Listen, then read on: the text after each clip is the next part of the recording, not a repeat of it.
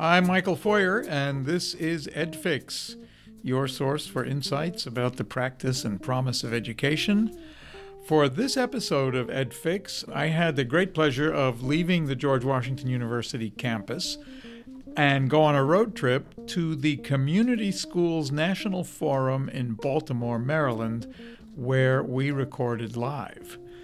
This forum takes place every two years and it brings together more than 2,000 teachers, administrators, community advocates, families, policymakers, and others who are working in and for community schools around the country. All day, I had the chance to speak with education leaders about their goals, about the impact of community schools on students and families and communities and so for this episode of EdFix, we have put together some of the highlights from the conversations on this very inspiring day. My first interview at the Community Schools National Forum, I met with Julia Baez. She is the executive director of Baltimore's Promise, which is a collaborative dedicated to improving outcomes for the city's young people. Julia's description of community schools helped to set the stage for the rest of the day. So tell us a little bit about this phrase community schools mm-hmm. as it might be distinguished from public schools, from schools in general. What's yeah. special about community schools? I think of community schools. Uh, my kids like this movie Robots, and there's um, this robot who helps fix like all the other robots in the movie, and he his tagline is "See a need, fill a need," and I think of community schools in that way that whatever the barrier is, whatever the need is, the the school is the place, right? But the idea is to bring the resources, the opportunities, and to create an access point that in some places otherwise doesn't exist. And whether that's for healthcare or after school or job opportunities for families, you know, most of the folks in our country interact with a public school system at some point. So why not use that connecting point to create all this opportunity that should exist and doesn't in many of our communities across the country? Give us an example of a community school in Baltimore where it is succeeding yeah. as the connector point yeah. with all these other resources. You know, we've had we have a community school like Wolf Street Academy that's been around for um, 12 years now as a community school. And what they've done, they have a very small space. And so they figured out how to connect with resources that are around their school. Um, so they have um, the University of Maryland comes in and does a dental clinic in the school library. So if you're a kid and you have a cavity or you need your fluoride treatment, your parents don't have to worry one about dental coverage, and two, they don't have to worry about transportation or getting you to a dental clinic. It happens right there at the same time it should happen. You know, if you were going somewhere else to to get your checkup. So it's just you know, it looks different, it feels different depending on what the need of that community is, which makes it great. It's a hyper local strategy. It's responsive to that neighborhood and those folks.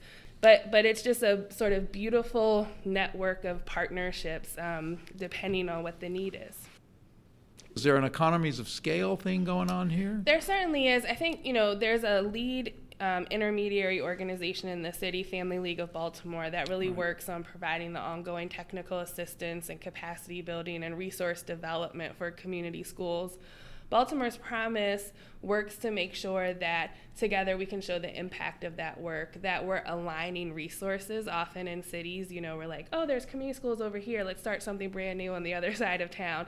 And our job is really to lift up those effective practices in the city so that we can scale them to make sure that more young people are accessing those resources. You know, our organization, part of our job is to really show um, that we can actually work together and get things done in our city. And so, you know, our board is made up of philanthropic leaders and higher ed institutions and public agencies, and really to show the proof of concept of collaboration.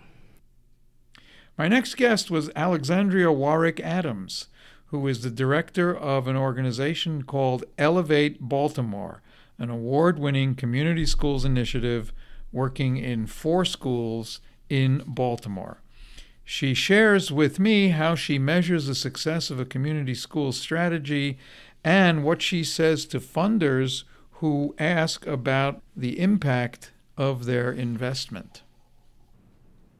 Uh, Alexandria, welcome to EdFix. Tell us a little bit about uh, Elev8. Tell us a little bit about you, and tell us a little bit about what your hopes are for this uh, community uh, schools forum.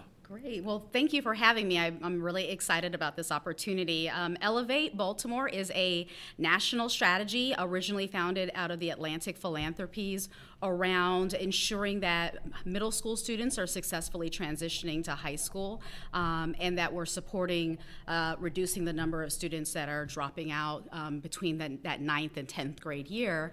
Um, over the course of time, um, in Baltimore in particular, uh, we've adopted a whole school strategy. We're not just in middle schools, so it was really important to us to use the community school framework around whole school implementation, whole school wraparound supports for students, families, and teachers to ensure that all students are prepared for high school, college, career, and life.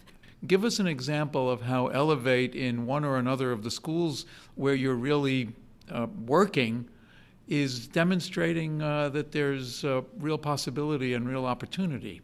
Um, so at William Pinderhughes, it's a really interesting community in West Baltimore, um, in the Sandtown Winchester community. The district, we're seeing families are leaving, the, the population is shrinking, the student population in, in those individual schools in that community are shrinking and shrinking and shrinking. And there was a district recommendation to close William Pinderhughes. And the kids, the families, the, uh, the staff all rallied using the framework that Elev8 had been building for five or six years with this school community, and they were like, not in our school. Our school is the hub, the center of opportunities for our community, and you cannot take this away from us. And the result is actually a very forward thinking result um, on behalf of the district and the school board is that we're now going through a community planning process to merge uh, two small schools together, but to create a new community school for this community that envisions all the opportunities and ideas and concepts around education pedagogy in this new school. Now, it's not going to be a new building, but it'll be a whole new vision for this community. And, and this is going to be the catalyst to driving more people back into this, you know, historically vibrant community. What kind of metrics do you use? What kind of data do you gather to either show what's happening? And to make improvements or to just answer the question does his investment pay off? Yeah, I think it starts with um, having a really solid foundation in your evaluation design and asking the right questions from the start. But I'm able to measure whether or not families are safe, supported. I'm a- able to measure students' resiliency I'm able to understand whether or not kids feel that they are in a safe, supported environment. I'm able to measure the increased partnerships. And so, you know, that's how we're measuring success. And I'm honest also with my foundation partners. You know, it took generations to get Sandtown into Baltimore to where we're at. And I push on them and say, I'm not to, you're not to see the promised land in three years of a funding cycle. It's absolutely not possible. But what you're to see is a healthier community. What you're to see is families that are more satisfied with their school. You're to see mobility rates dropping because families are to choose to stay in this school. You're to see that kids are coming to school more often. And hopefully, when they're coming more often, that's to translate into increased academic performances. Does the research community provide you with the kind of evidence, the kind of knowledge, the kind of information that you can really use. You know, there is a lot of really good research that's happening in the field around education, but I think that we're, we're I'm really excited and hoping that on the horizon I, am going to see more research around the, the link between community schools and wraparound supports and how that connects and supports to academic achievement. But, you know, if we think about, you know, creating the conditions for success and how are we measuring conditions for success, um, that's really important. Next, I had the chance to speak with Deanna Roan, who teaches kindergarten in Deer River, Minnesota. Deanna helped launch a full service community school in September, and she has already been recognized for her efforts with this year's Educator Leadership Award here at the Forum. Deanna, welcome to the show. Tell us a little bit about Deer River. Tell us about your work there, and then tell us about this award you got. The school that I teach in, King Elementary, is a pre K through 5 building, and we have about 500 kids. And we just began our journey as a full service community school in September through our work with the coalition and the full service community school we have a food pantry we have mental health services in our building we have early childhood we have a senior citizen center in our building we do a community cafe for families in the evenings we serve meals two nights a week. So we have a lot of supports for our community. Terrific. Tell us about the what the conference means to you and getting this award two years ago, I was able to attend the Full Service Community Schools Forum in Albuquerque, and it was an amazing experience. Gave us a lot of ideas for what we wanted to do in Deer River, and just went back home and started grassroots organizing and trying to get people on board. And my mm. coordinator nominated me, and it's very humbling, and it's very I I want to use it to spread the word about full service community schools and how they can help our kids. We, we've been talking a lot about the what sounds like a really exciting and very positive uh, environment and experiences for the kids and the families. I guess you're showing that for some of this, it really does take a village. It really does. We have kids that it starts with parents who struggle with mental illness or drug addiction or they don't have transportation. And so then those barriers permit them from taking them to the doctor or getting mental health services like going after school to mental health services. So we're trying to provide services at our school. My next conversation i spoke with kalila slater harrington she is the senior director of youth initiatives for the family league of baltimore Family League funds programs in 44 community schools in Baltimore, supports community based organizations, and utilizes data to measure the effectiveness of their organization and its outcomes. Kalila, tell us a little bit about the Family League, how it fits into this, and what you do. Sure. So the Family League exists because of Maryland statute. It is called a local management board.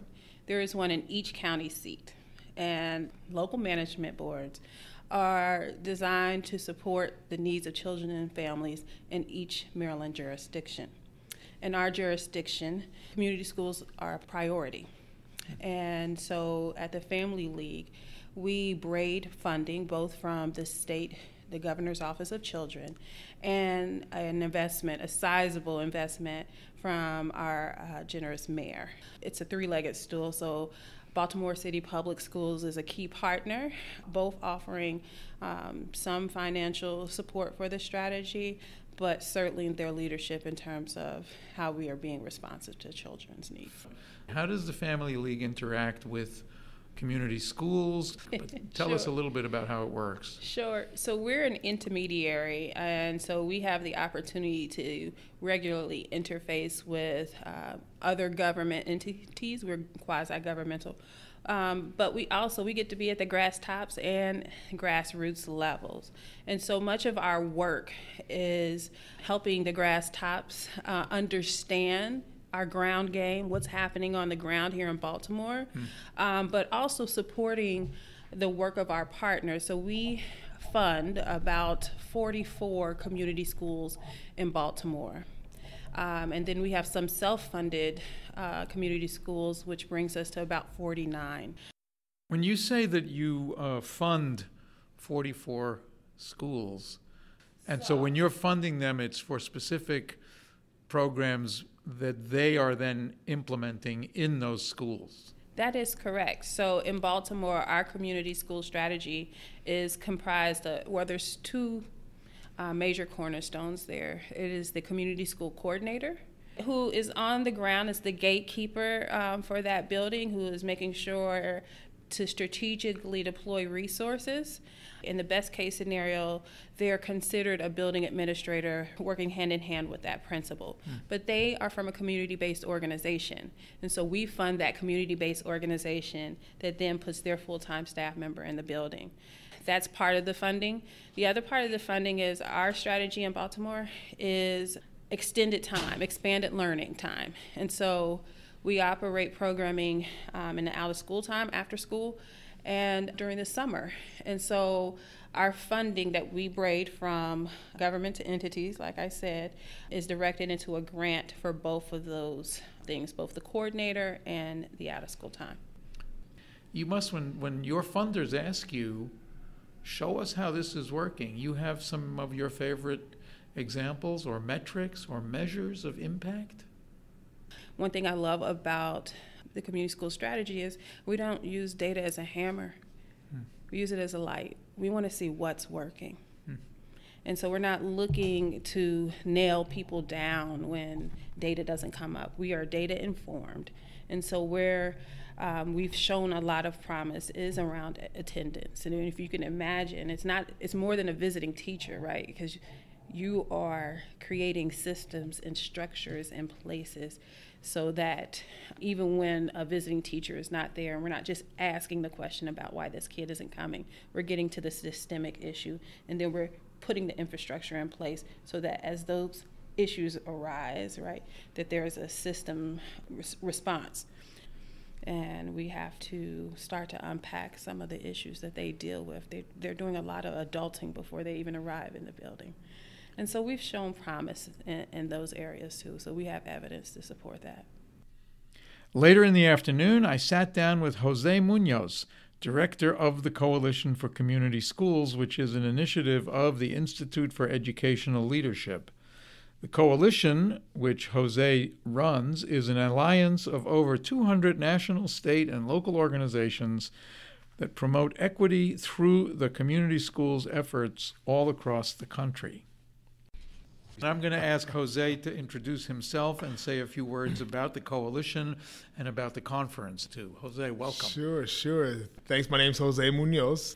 But the coalition itself is an alliance of local, national, and state organizations who really utilize community schools uh, to promote equity and help develop uh, not just education, but the families and communities it advances education and workforce.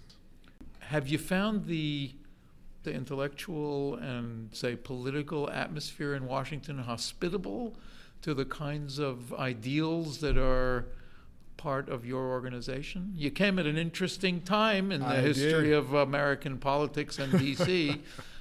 but it, it is an interesting time it is, is a, a, rough time. It's very a very hard time where you have these ideals we talked about over the over a century over a century old, and yet you look at another amateur historian, but you look at the times when achievement gaps were closest were the times we had the most social service supports.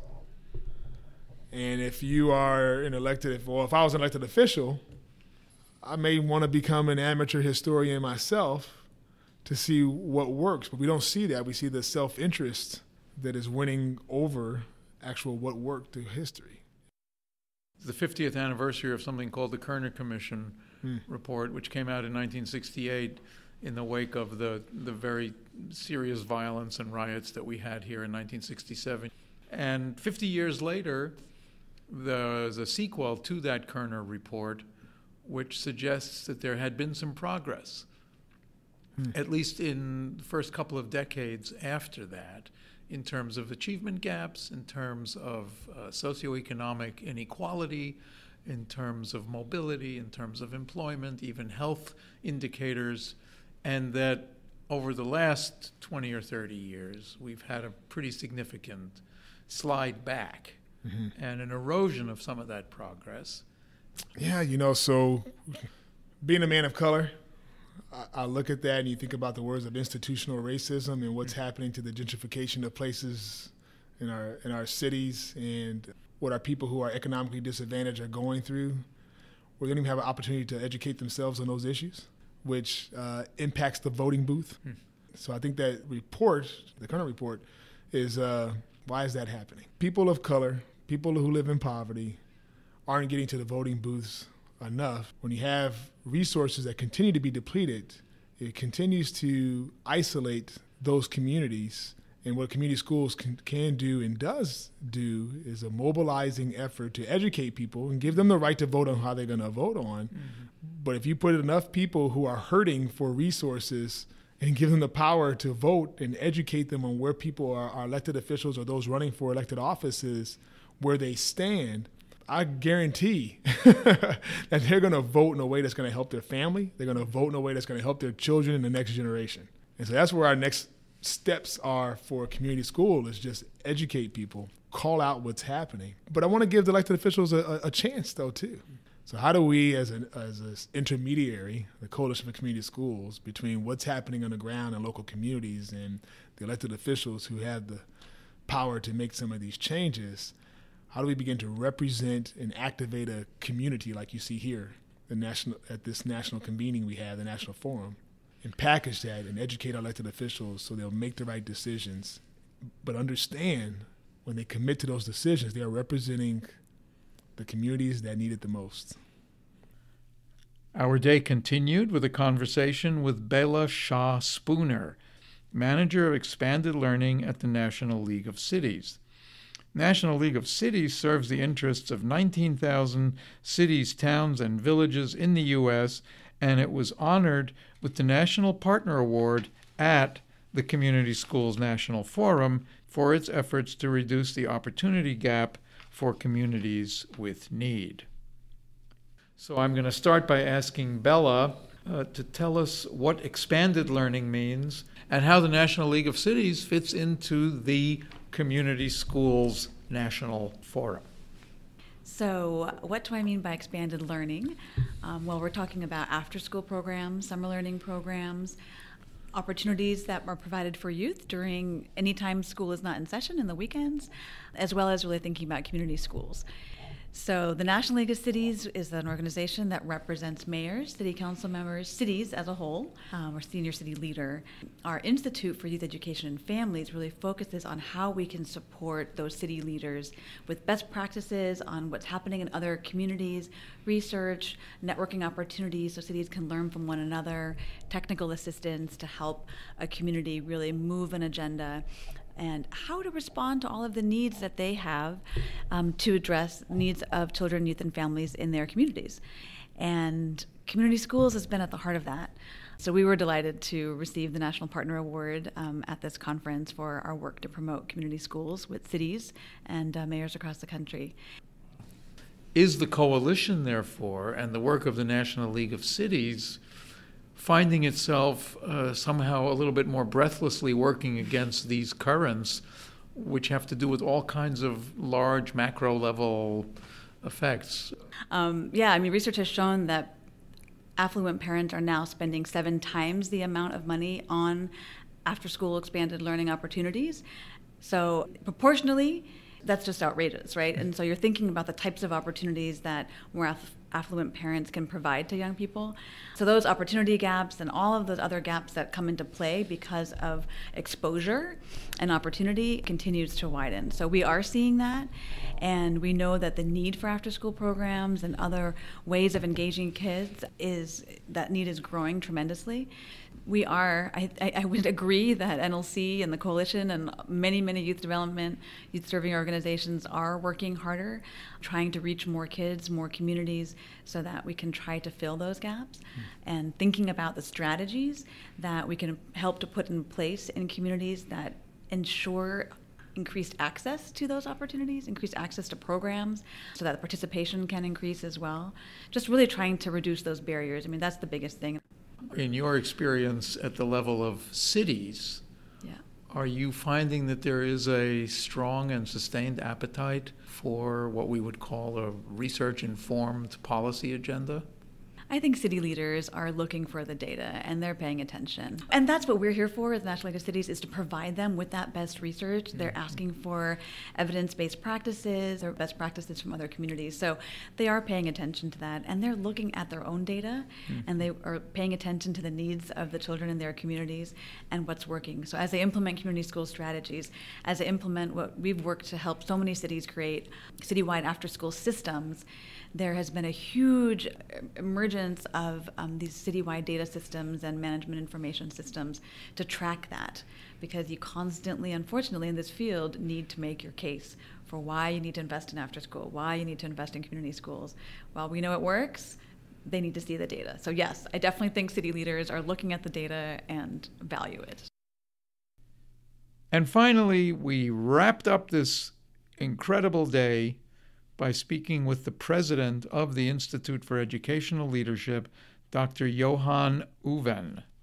The Institute for Educational Leadership is a nonprofit, nonpartisan organization which has been at the forefront of efforts to bring together leaders across various sectors of education, workforce development, child and youth serving systems, aiming to eliminate barriers and create conditions and policies necessary for everyone to succeed.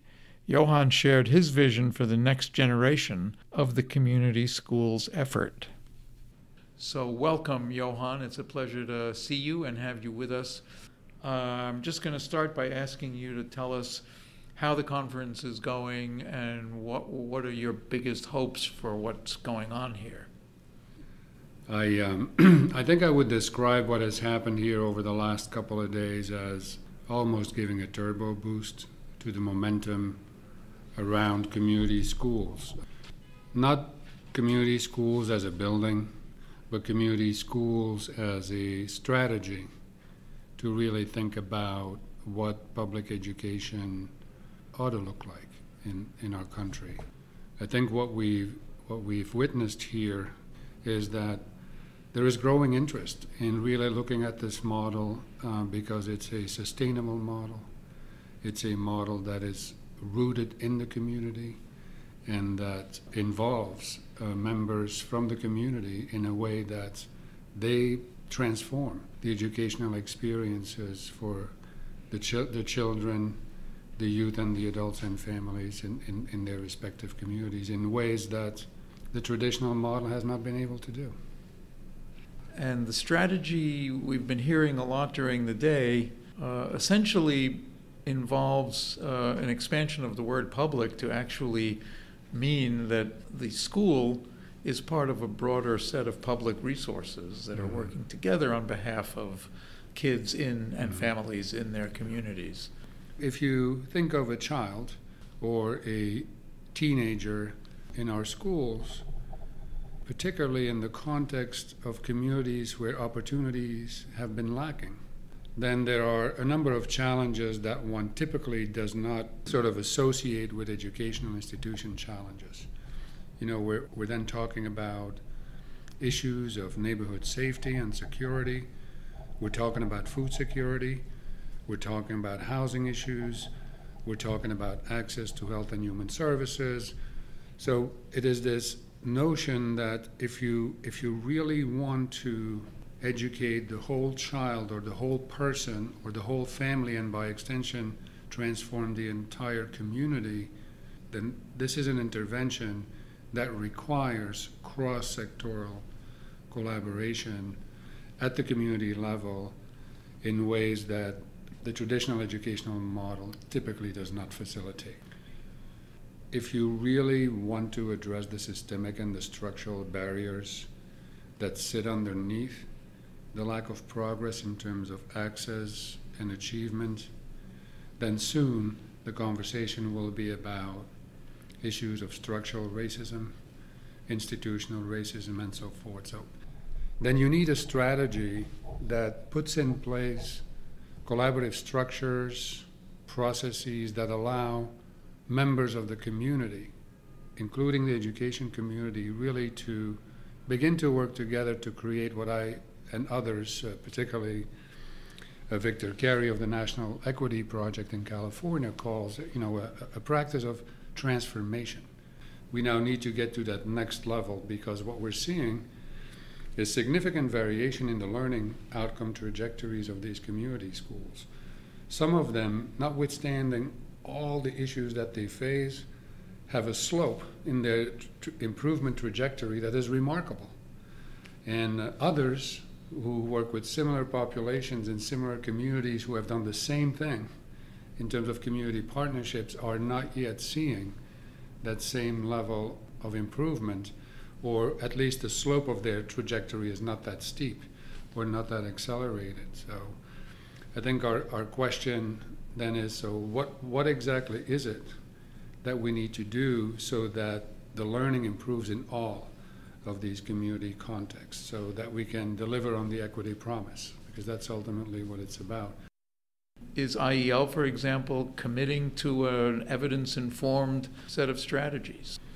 We have made a decision uh, with our board and with our leadership team to intentionally begin the development and implementation of an evidence strategy related to community schools and, and, and also other areas of our work. So we're, we're, we're transforming our organization from an organization that primarily focused on supporting movement building and technical assistance and things of that nature to one that wants to use data and evidence in that uh, entire process.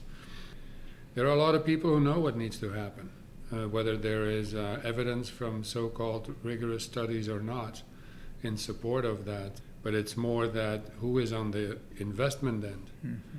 you know, uh, may have very particular notions of what success actually means that are limited in that they don't actually capture the full effect of some of these um, strategies like community schools. Uh, we had a panel earlier today during the conference where people were talking about the impact on community and economic development. And that is not necessarily the type of sort of education evaluation outcome that people typically think hmm. of. So, what we need to do is also work with our funders community, including public and private funders, and with our colleagues in academia to really explore what is that next generation of evaluation methodologies that we should develop that would allow us to more accurately capture and also attribute the outcomes of, uh, that we see from these comprehensive strategies like community schools that go well beyond, you know, an increase in in test scores or higher graduation rate. We need to work with the funder community, with academia, to meet that intellectual challenge of coming up with some new ways of measuring these impacts. Well, I want to thank the Institute for Educational Leadership and the Coalition for Community Schools for inviting us to broadcast live from the Community Schools National Forum in Baltimore. I met people who are working together toward educational opportunity for all and it was a memorable set of conversations.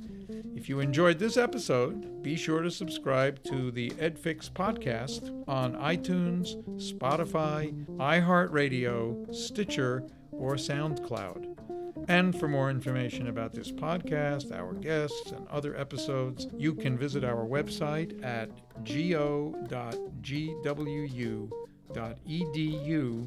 forward slash EdFix.